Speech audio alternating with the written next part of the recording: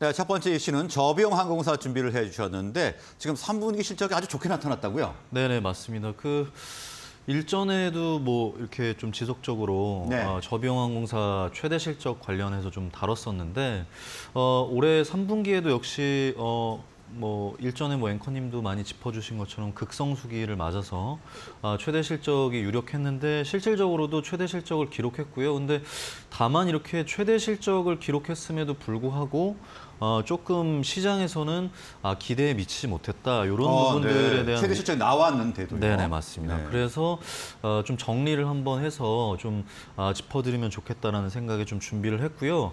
어, 일단은 뭐 제주항공 같은 경우에 올해 들어서 어, 사상 최대 실적 행진을 이어가고 있습니다. 아, 3분기 별도 기준 실적은 어, 매출이 4,368억 원, 아, 영업이익이 4, 아, 444억 원, 네. 아, 당기순이익이 271억 원 정도로 집계가 됐고요. 어, 지난해 4분기에 흑자 전환에 성공한 이후에 뭐 계속 꾸준하게 흑자 기조를 이어가고 있고요.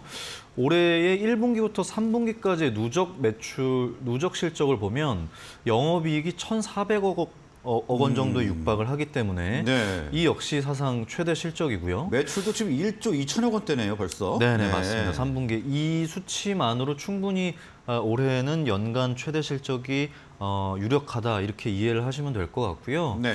어, 진에어 같은 경우에도 3분기 별도 기준으로 어, 매출이 3,225억 원, 어, 영업이익이 326억 원, 어, 당기순이익이 210억 원을 기록을 했습니다. 그래서 어, 3분기 매출 같은 경우에 이제 전년 동기보다 한 85% 정도 상승을 했고 어, 진에어 역시도 이제 어, 4개 분기 연속으로 흑자를 이어가고 있다. 라고 좀 설명을 하고 있거든요. 네네. 그래서 네. 어, 역시 사상 최대 실적이다 이렇게 이해를 하시면 될 것 같습니다. 네, 그러니까 저비용 항공사 LCC들이 이제 엔데믹의 수혜를 톡톡히 보고 있는 그런 상황이 네, 될 네. 건데, 자 그런데 이렇게 최대 실적을 나고 있는데도 시장에서는 조금 기대 못 미쳤다 이런 평가가 있습니까? 네네 맞습니다. 이게 참 뭐랄까요 이게 어, 사, 사상 최대 실적에 어, 기대 못 미쳤다라고 표현하는 것도 참 얼마나 더 실적을 올려야 되는 건가요? 그러, 글쎄요 이게 워낙 이제 코로나 기간의 어려움이 어, 장기간 지속이 되다가 네. 아, 폭발적으로 해외 여행 수요가 늘어나면서 사실은 올해 실적에 대해서 엄청난 기대감이 있었거든요. 근데 아, 예상보다는 실적에 미치지 못했다. 실제로 아, FN 가이드 집계에서 어, 제주항공 3분기 별도 기준 영업이익 컨센서스 아, 증권사 전망치 평균이 500억 원 정도였거든요. 음, 네. 그래서 한 50억 원 이상 좀 시장 전망치를 뭐 밑돌았다. 어, 그리고 진에어 같은 경우에도 같은 기준으로 영업이익 consensus가 447억 원 정도. 그렇기 때문에 어, 시장의 전망치보다는 미치지 못했다. 이렇게 좀 어, 이해가 되고 있어서 음. 이 부분에 있어서 어, 조금의 우려가 있는 것 같습니다. 네. 일부. 기대를 너무 크게 가진 게 아닌가 싶은데요. 네네 그런 부분도 있는 것 같고 네. 아무래도 뭐 유가나 환율이나 그리고 이제 아, 코로나 기간에 멈췄던 임, 임금이랄까요 이런 부분들도 다소 좀 정상화되는 과정을 거치면서 아마 많은 부분들이 비용적으로 반영이 되다 보니까 조금 실적이 주춤한 게 아닌가 이렇게 음. 네. 이해를 해보시면 좋을 것 같습니다. 자 일단 최대 실적은 기록하긴 했습니다만 네네. 시장의 기대치를 충족하기 조금 모자랐다 이렇게 네. 분석이 됐는데요. 자이 LCC 경쟁 심화 지금 이야기가 나오고 있는데 벌써 이게 나오면 되나요? 네네 사실은 글쎄요 뭐 요즘에는 워낙에 정보들도 빠르고 워낙에 뭐 시장 전망들도 많기 때문에 그럴 수도 있는데 이제 흑자 전환한 지 얼마 안 됐는데 네네, 벌써. 경쟁 심화가 나오면 안 될 것 같은데. 네. 그럼에도 불구하고 어, 어, 앵커님이랑 뭐 일전에도 많은 얘기를 했고 대한항공 아시아나 합병에 관해서도 많이 음, 네. 아, 얘기를 나눴습니다만은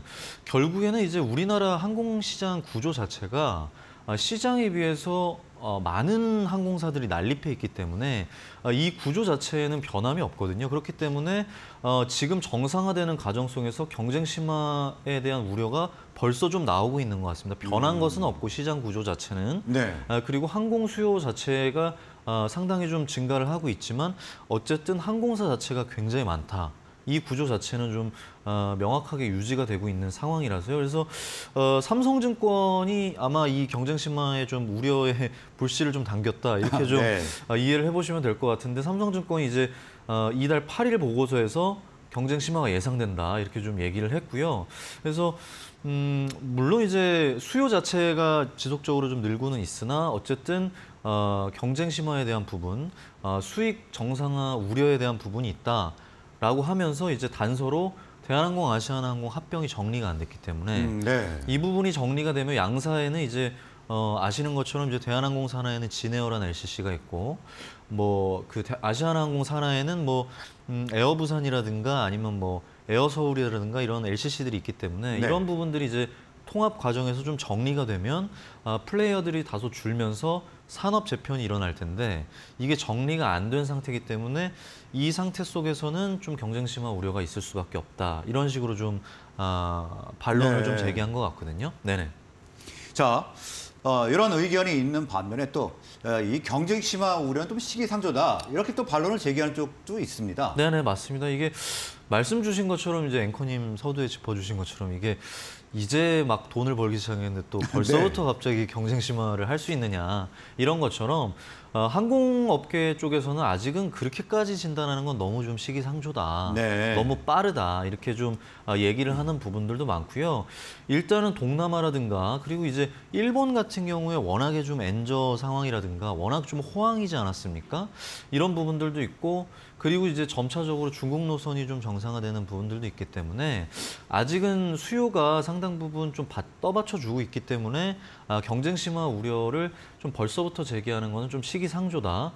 그리고 이제 어, 앞서 말씀드린 것처럼 국제 유가가 물론 이제 아직까지도 80달러 안팎에서 움직이면서 사실은 좀 생각보다는 안 오르고 있어요. 네네, 맞습니다. 그 이스라엘 팔레스타인 간 이 전쟁도 났는데 맞습니다. 저는 100달러 훌쩍 넘어갈 줄 알았거든요. 맞습니다. 저도 사실은 그렇게 예상을 했고 이- 그때 당시에 이제 시장에서는 일부에서는 뭐 100, 150달러 이런 얘기까지 나왔으니까. 네. 근데 말씀 주신 것처럼 생각보다 오르지 않았고 물론 이제 80달러 수준도 상당히 부담이지만 그럼에도 불구하고 다소 좀 안정되고 있다. 이런 부분은 좀 긍정적으로 바라보셔도 되지 않을까. 좀 이렇게 이해를 해보시면 좋을 것 같습니다. 네, 이렇게 어, 물론 일단 경쟁이 심화되고 있다 이런 네네. 의견과 아직은 네. 시기상조다 이런 의견이 아직 그 팽팽히 맞서고 있는 상황인 것 네네. 같은데 자 말씀이 나왔길 한번 여쭤보도록 하겠습니다. 지금 네네. 아시아나항공과 대한항공의 합병과 관련해서 네네. 일단 아시아나 항공사업 부문 화물 사업 부문을 어, 이사회에서 매각하기로 네네. 결정을 했지 않습니까? 네네, 맞습니다. 그래서 지금 유럽 연합에도 이제 신고를 했다고 하는데 아직 유럽 연합에서 승인이 나온 건 아니죠. 네네 맞습니다. 아직 승인이 나온 것은 아니고요. 근데 네.